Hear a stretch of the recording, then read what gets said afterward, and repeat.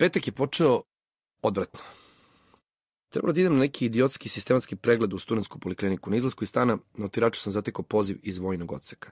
Javiti se dana odmah u 08H u vojni odsek Palilula, odeljenje Stari grad, prvi sprat soba broj 11 radi regulisanja pitanja u vezi sa vojnom obavezom. To je bio otprilike 500. poziv koji sam dobio te džubradi i završio je kao i svi prethodni, iscepan i kroz tanki prorez za ventilaciju gurnut u rupu od lifta. Posle poliklinike trebalo je da odem na plato kod filozofskog jer su studenti najavili protest zbog izborne krađe. Hodnik u poliklinici je bio krcat budalama. Isprepodobljeni studenti i studentkinje, pravnička, ekonomska, farmaceutska, veterinarska i druga govanca, uredno su sedeli sa formularima u rukama i čekali. Pojma ti debili nisu imali šta se oko njih dešava. Zanimalo ih je samo kako da nađu skripte za sledeći ispit i kako da dobiju potpis od nekog kurtona sa cvikerima. Gledajući ih bio sam sve više uveren da će studentski protest biti fijasko. Svuda okolo bili su izlepljeni plakati o Sidi, živi sa Sidom, razgovarimo o Sidi, Sida i mladi, Sida i seks. Sida nije najgore što može da ti se desi u Srbiji. Najgore što može da ti se desi u Srbiji jeste da živiš u Srbiji. Pošto sam se dobro napunio negativnom energijom, uzeo sam formular i popunio ga.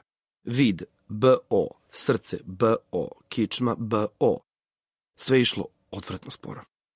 Trebalo ići kod doktora, pa u laboratoriju, pa kod zubara, pa kod ginekologa, pa kod psihijatra, pa nazad opet kod doktora. Jebote, zatvor, škola, bolnica, vojska, sve to isto, iste zgrade, isti namešta, isti ljudi. Uleteo sam u ordinaciju, nisam stigo ni da beknem, a neki magarac mi je već srao. Zatvori vrata, nisi rođen u čamcu, zalupio sam vratima, što sam jače mogao. A neki smrad, kome su merili pritisak, trgnuo se. Opet sam otvorio vrata i još jače zalupio njima. Gledali su me zapanjeno. Ovaj pregled je jedna od najglupljih stvari koje sam u životu radio. Odmah da smo završili s tim sranjem. Bacio sam formular na sto. Pa ti si ovo popunio. Pa ovo samo doktor sme da popuni, rekao je onaj Kurton. Ja sam doktor specijalista, daj mi pečat i puštaj me kući.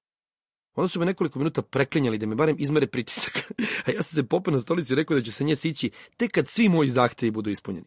Lupili su mi pečat u indeks i pustili me kući. Šaka studenta se na platovu dogovorila da od ponedeljka započnemo sa svakodnevnim protestima. Čeli ja smo bili jedini sa pravnog. Ako je slučajno bilo još nekog iz te smrdljive zgrade, nismo ga poznavali. Čela imao masnicu na oku. Nekakav major sa sedmog sprata napoje njegovog ćaleta na stepeništu, pa je Čela uskočio. Izbila opšta tuča u kojoj su major i jedan zastavnik iz niskog prizemlja bili prinuđeni da se povuku stepeništem u nepoznatom pravcu. Te večeri video sam se sa Vesnom. Posle tucanja upalio sam TV da vidim vesti, a ona je rekla da će, ako ne ugasim TV, smeste otići kući. Nisam ugasio. Sa Ćaletom nisam razgovarao od 1994. kad me ulovio kako mu kradem lekovi iz fioke. On je sa ženom i njenim sinom poslednjih deseta godina živeo na Novom Beogradu i jedva je čekao neki izgovor kako bi mi ukinuo izdržavanje. 1994. sam duvao isključivo u kombinaciji sa tabletama, a pošto sam sve pare dao na travu, tablete sam krao. Bila je prva godina faksa, nije moralo da se uči, nije moralo da se ide na vežbe, jedino što si mogao da radiš bilo je da se drogiraš. Ipak, tog ponedljaka, matori me pozvao sa Splahirim. Dobro, da li si ti normalan, vrišto je? Prethodnog popodneva na demonstracijama koalicije zajedno, Čeli ja smo uhvatili nekog smrada kako kamerom snima rupe u masi. Rekli smo mu da ne jede govna, nego da snima pošteno. Otero nas je u kurac i mi smo ga pojurili, nalupali mu par šamara i rekli mu da se više ne pojavlja na demonstracijama.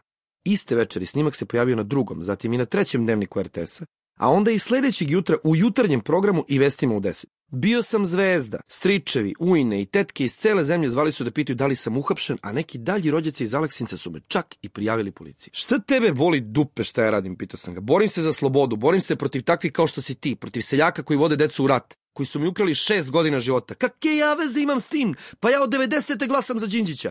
Zalupio sam u slušalicu i krenuo na protest. Na pravnom se okupila šaka jada, stotinak ljudi koji uglavnom nisam poznavao.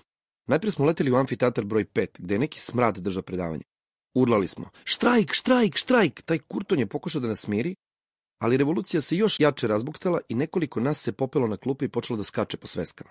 Onda je profesor, praćen gotovo svim prisutnim studentima, napustio amfiteatar i tu smo ostali samo mi, demonstranti. Čeli i ja smo seli u klupu sa likovima koji su nam izgledali najnenormalnije. Bila je tu Tamara, slatka farbana crnka u beloj bundici sa polomljenim prednjim zubom i dva fanatika iz Valjeva, Radovan i Dejan K. Neki tip je održao polupotpaljivački govor, posle čega smo izašli na ulicu i krenuli ka platovu. Kola su nam svirala u znak pozdrava. Na platovu, na moje iznenađenje, bila je jeziva guža. Stajali smo pored vojne knjižare i gledali ribe kojih je bilo milijardu. Riblja revolucija. Onda smo krenuli u šetnju i ofarbane tetke su nam iz svojih kancelarija mahali i bacale nam papire na glavu.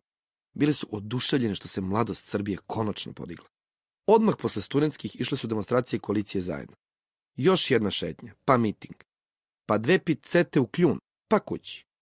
Keva mi je ispričala kako je ceo komšilog prijavio da je sin bio na televiziji. Neka baba je rekla da sam narkoman i bandit, pa je Keva zgnjačila pomoranče. Posle jedne nedelje demonstriranja, izgledalo je kao da se cijela zemlja digla na noge. Nama koji smo od 11 pre podne do 6 uveče bili na ulici, izgledalo je kao da osim protesta nema više ničeg na svetu. Bili smo na svetom zadatku. Branili smo pobedu opozicije na lokalnim izborima. Nas 100.000, nas 200.000, nas milion. Kad se popneš na žardinjeru kod Londona i gledaš ka terazijama, izgleda ti kao da ima i više od milion ljudi. Od policije ni traga, miš se zavukao u svoju rupu na dedinju i bio sam uveren da je barem dve trećine među nama maštalo kako će protestna kolona jednom, umesto ka televiziji, skrenuti ka dedinju i onda udariti na jedan, dva, tri kordona, uhvatiti ga, nabiti ga na ražanj i pokazati celom svetu ko je garant mira na Balkanu. Tog dana koalicija zajedno je smislila da građani jajima gađaju gradsku skupštinu, predsedništvo, republičku skupštinu, televiziju i manje više svaku drugu zgradu u kojoj se krije ološ. Čeli i ja smo napunili džepove kamenje. Do zgrade RTS-a letelo su samo jaja, ali je tamo došlo do preokreta. Usred zasipanja RTS-a jajima, neki deda sa šajkačom došao je na pola metra od jednog prozora i razbio ga kamenom. Sledeće sekunde je na RTS krenula kiša kamenja. Stakla su pucala, padala nam po glavama. Žene sa Vukovim slikama u naročju vrištale su i bacale kamenice. Neki kamenice su pogađale prozore, neki su pogađale zidove, neki nisu ni mogle da dobace tako daleko. Ali žene su bile uporne, odlazile bi po kamenje i vraćale se na bezbednu udaljenost i ponovo gađale. RTS je leteo u param parčad. Oni su nama jebali majku najsavremenijom tehnologijom, a mi njima tehnologijom starijeg kamenog doba. Čele je bio u ekstazi. Najpre bi urlao ka noćnom nebu, jebem! A onda bi svom silinom kamenovo najguru kurvu među svim kurvama na Balkanu. Vadio je i vadio kamenje iz džepova, i gađao, i gađao, i gađao. I bilo je neki koji su pokušavali da nas odgovore od kamenovanja. Oni su nam urlali, nemojte, a mi njima, komunjare! Na kraju jednoj ženi koja je vrištala ta sranja o nenasilju, onaj čiča sa šajkačom, opalio šamar i to nam je malo poljuljalo raspoloženje, te je kolona nekako krenula ka lole ribara. Tamo nam je s jednog balkona mahala uobičajena baba, a na raskrsnici sa Palmotićem uobičajena ekipa vitlala je upaljenim lusterom s terase. Siđite dole, urlali smo, ali oni su samo klatili tim lusterom napred-nazad. Onda nam je pažnju privukao konj koji je po svaku cenu pokušao da se golfom probije